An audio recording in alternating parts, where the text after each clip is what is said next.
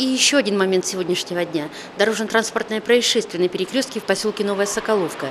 Пассажирский микроавтобус, следующий по маршруту номер 16, остановился на красный сигнал светофора. В это время сзади, не выдержав положенной дистанции, в него врезался легковой автомобиль. При дорожно-транспортном происшествии пострадал водитель легковушки. Он доставлен в больницу.